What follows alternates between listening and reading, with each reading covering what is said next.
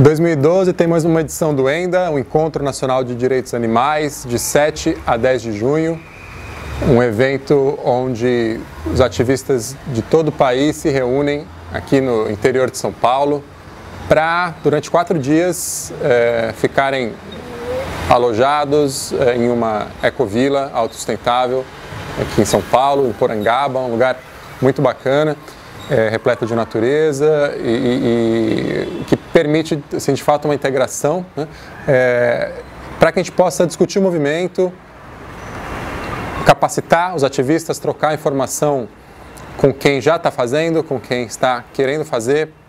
A gente teve nas edições anteriores do ENDA, essa já é a terceira edição, ativistas vindo de tão longe quanto Acre, Pará, Goiás, Rio Grande do Sul, de todo o país, cerca de 200 pessoas bastante motivadas ou buscando motivação para fazer mais pelos direitos animais aqui no Brasil. É sempre uma experiência muito rica, né? não só pelas palestras que é, ocupam uma parte do evento, mas também pelo aspecto social, pelos momentos de troca, de integração, um resultado muito legal que a gente sempre recebe do ENDA são grupos ou, que se formam, né? ou seja, pessoas que estavam assim, sem muita informação, sem muito saber como fazer, mas com vontade de fazer, que é, acabam é, iniciando grupos ou, ou, iniciativas individuais mesmo nas suas regiões, porque dali se, se sentem apoiadas né? por, por aquelas pessoas que elas só conheciam à distância, por internet, e também porque se apoderaram de, de muitas informações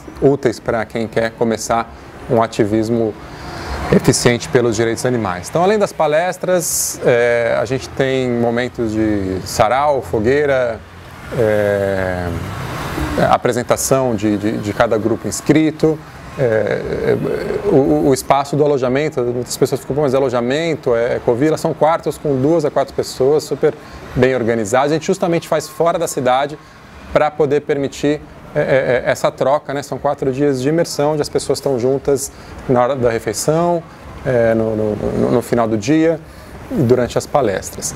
Quem quiser saber um pouquinho mais pode entrar no site, é enda.org.br,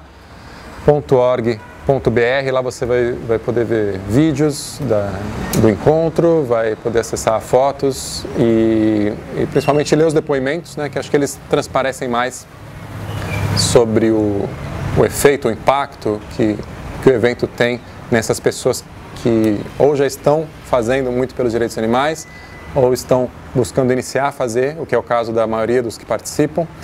E contamos com a sua presença, quanto mais gente presente, mais fortalecida a nossa rede.